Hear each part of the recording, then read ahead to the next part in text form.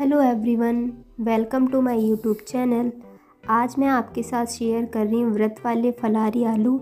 बहुत ही आसान, कम चीज़ों के साथ, बहुत ही डिलीशियस बन के ये तैयार होती है। इसे बनाने के लिए बहुत ही कम सामान की ज़रूरत भी पड़ती है।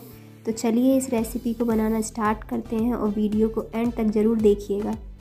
तो सबसे पहले मैंने यहाँ पे कढ़ाई ली है और कढ़ाई में मैंने थोड़ा सा घी डाल दिया है। बहुत ही कम घी का हम इस्तेमाल करेंगे क्योंकि इस टाइम पे हम मूंगफली जो होती हैं पीनट्स उनको रोस्ट करने वाले हैं। तो मैंने यहाँ पे वन हैंडफुल ऑफ़ मूंगफली ली है और उनको अब हम लगातार चलाते हुए रोस्ट करेंगे।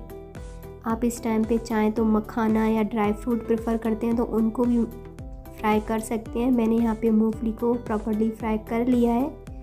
इसके बाद मैंने यहाँ पे कुछ छः से सात आलू लिए हैं। ये बॉईल किए हुए आलू हैं और इनको हम कुछ ऐसे क्यूब्स पीसेस में काट लेंगे कुछ इस तरीके से। आप चाहें तो इनको वैसे रफली मैश करते हैं उस तरीके से करना चाहें तो वैसे कर लें। उसके साथ ही मैंने यहाँ पे लिए बारीक कटी हुई हरी मिर्च। चलिए तो अब हम आलू फ्राई करना स्टार्ट करते हैं। तो सबसे पहले मैंने यहाँ कढ़ाई में घी डाल लिया है।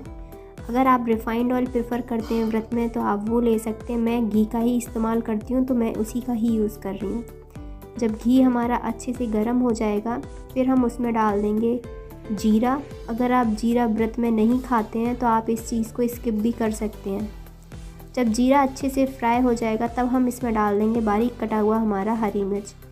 मैं व्रत में लाल मिर्च का इस्तेमाल नहीं करती हूँ, इसलिए मैं यहाँ पे हरी मिर्च डाल रही हूँ और ये कम तीखी है, इसलिए मैंने इनका अमाउंट थोड़ा ज़्यादा यूज़ किया है। उसके बाद मैंने यहाँ पे जो हमारे क्यूब्स में कट किए हुए आलू थे, उनको हमने डाल दिया है और अब इनको हम अच्छे से मिक्स कर लेंगे। प्रॉपरली चलाते हुए मिक्स करेंगे ताकि जो घी है, उसकी एक प्रॉपर अच्छी सी कोटिंग इस पर बन जाए। लगभग एक से दो मिनट के लिए हम कढ़ाई में इसे छोड़ देंगे ताकि ये थोड़े से फ्राई हो सकें, थोड़े कुरकुरापन सा इनमें आ जाए।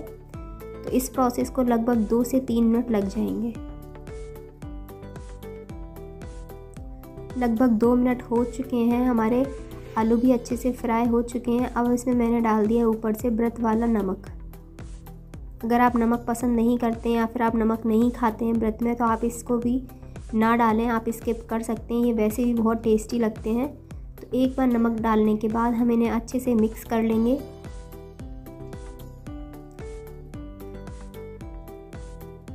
नमक अच्छे से हमने मिला लिया है। आलू भी हमारे पूरे बन के तैयार हैं। बस इतनी सी ही आसान रेसिपी थी ये। लास्ट में यहाँ पे जो हमने रोस्टेड की हुई मूंगफली रखी थी, वो हम डाल देंगे। अगर आपने मखाने वगैरह फ्राई किए थे, आप वो भी इसी टाइम पे डाल दें। और मैंने यहाँ पे डाल दिया बारीक कटा हुआ हरा धनिया। हरा धनिया से इस रेसिपी का टेस्ट और स्मेल बहुत अच्छी आएगी। बहुत ही इन्हेंस कर देगा इस रेसिपी को। तो हम अच्छे से धनिया को इसमें मिक्स करेंगे। हमारे व्रत वाले फलहारी आलू बिल्कुल बन के तैयार हैं। ये बहुत ही डिलीशियस लगते हैं। दही के साथ आप इसे सर्व करें। मीठा दही पसंद है तो उसके साथ में और आप चाहें तो इसे बिना व्रत के भी खा सकते हैं। बहुत ही डिलीशियस बन के तैयार होता है। आपको मेरी रेसिपी ये कैसी लगी मुझे कमेंट करके बताइएगा। Thank you so much for watching my video. Like, share and subscribe.